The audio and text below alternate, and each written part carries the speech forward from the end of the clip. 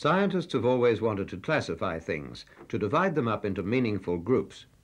We all do this every day when we speak about human races or give names to the plants we grow in our gardens. But to do this efficiently needs years of experience, years of working with the things we want to classify. And it's now just 40 years since scientists first began to try to use mathematical methods to help them. The first workers in this field were interested in land survey problems. The things they classified were sample plots of land, and the things they knew about them were the names of the plants growing in their plots. Crocus. Vad säger den planeten? Nej, nothing so. Den planeten is again. There's a small seedling here, I don't know what that is. It'll be Hypochaeris, I think. Later, much later, botanists began classifying the plants themselves by mathematical methods. They might get their data from living plants like these, or from pressed specimens in a herbarium.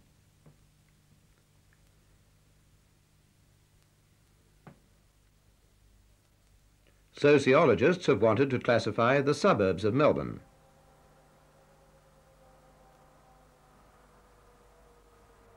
Criminologists, trying to understand the causes of crime, have wanted to classify delinquents. Whatever we're classifying, we always finish up with a table.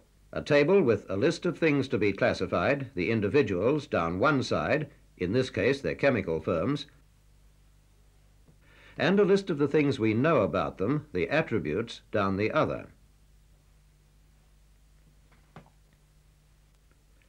This is the form in which the data is usually brought into the computer building.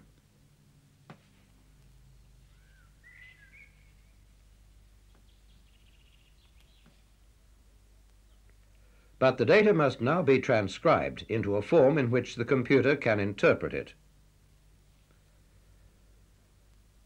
There's no universal standard form for this. Sometimes it's simple, as it is if it's just a list of the plants growing in each plot. Or more complicated, as it has to be if you have information about soils at different levels.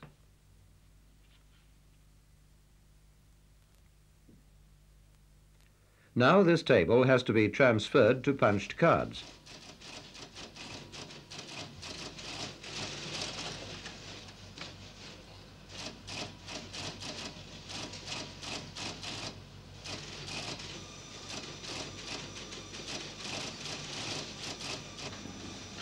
The cards must be checked. This is done not by laboriously proofreading them, but by a different worker punching them again on a machine called a verifier. This will detect any discrepancy between the two punchings.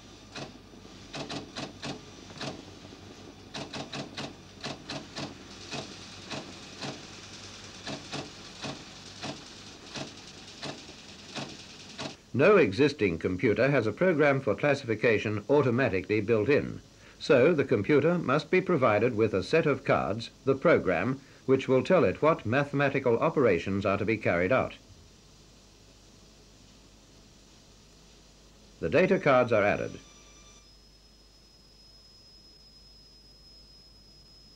Finally, a job card for record purposes. And the deck of cards is ready to be taken to the computer itself.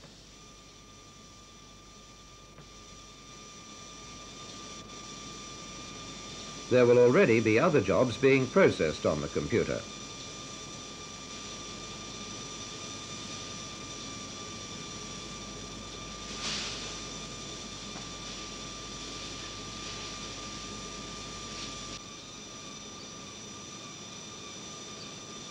The operators can, if they need, find out what the computer is doing at any moment by watching the control console.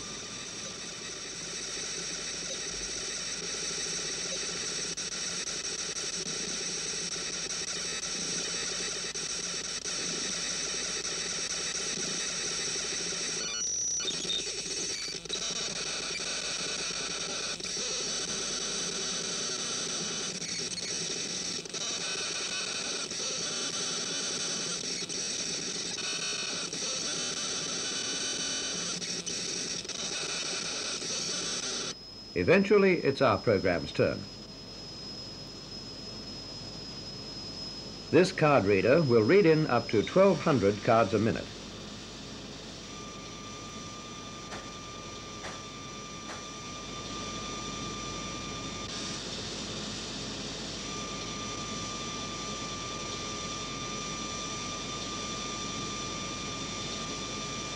The information they contain is passed to the core store, the heart of the computer. Some of the information may need to be stored on magnetic tape for use later in the calculations.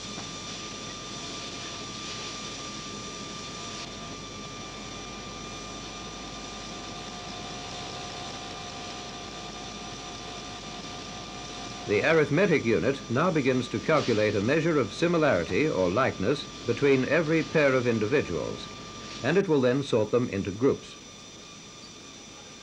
When the calculations are finished, the answer is passed to a line printer, which operates at a thousand lines a minute.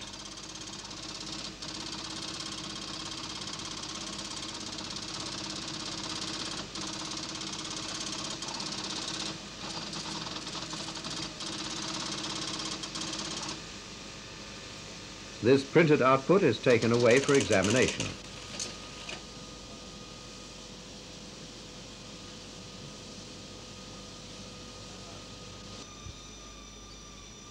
It normally gives first the program.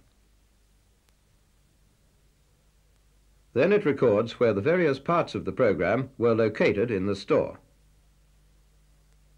Then it prints out the data so that the user can check once more that no mistakes have been made in the data fed in.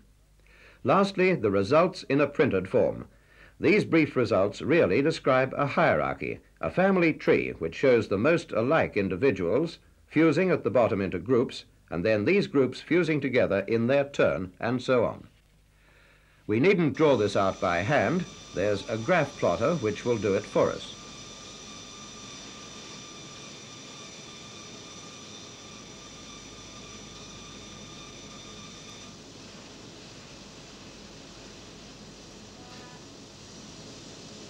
Or we can ask for the hierarchy to be built up on a visual display.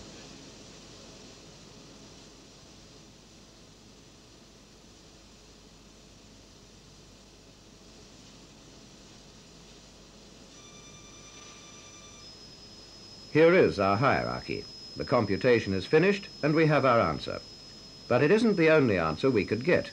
We could read in the same data cards and by changing only one mathematical quantity in the machine, get a whole set of different answers. Let us look at another hierarchy from a set of field data. The plots obviously fall into two sharp groups. We'll ask the computer to repeat the calculation several times, changing only one simple instruction. Note as we go through these different answers how the scale changes and how first the grouping becomes less intense.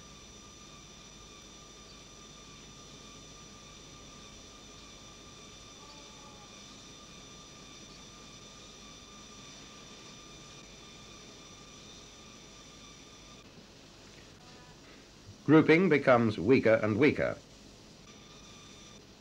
And finally, the plots appear not to be grouped at all. Now, which of all these possible answers are we to choose? We normally provide a classification like this one, with a modest degree of grouping and the scale put on the side. But since it's only one of an infinite set of possible answers, the classification must be tested for usefulness or meaning in the context from which it came. Wherever it started, there it must end. And if the process began by the collection of data in the field, then the worker must return to the field to find out what its application means. A computer classification must never, in any circumstances, finish at the computer.